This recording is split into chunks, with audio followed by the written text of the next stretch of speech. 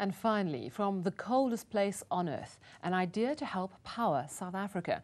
That's the hope behind a new locally built research station finishing up tests in Antarctica. The base is said to be a world first, powered entirely by wind and sun and totally mobile.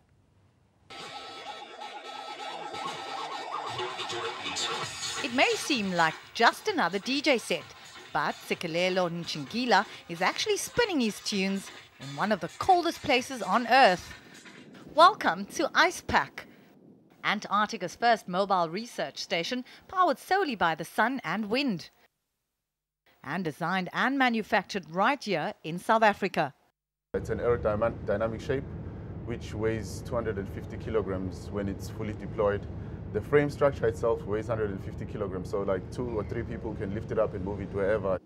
But ICEPAC isn't only designed for the Antarctic.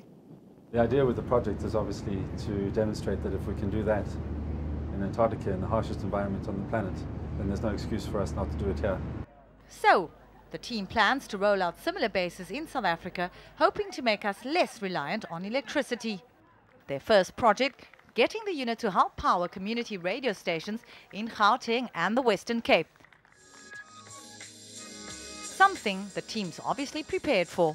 Tanya Neft, E! News, Cape Town very cool idea.